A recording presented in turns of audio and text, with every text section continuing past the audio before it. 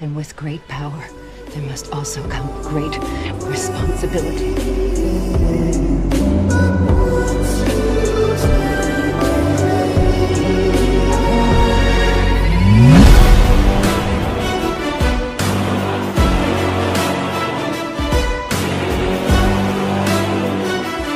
Where is here, exactly? A place that represents second chances.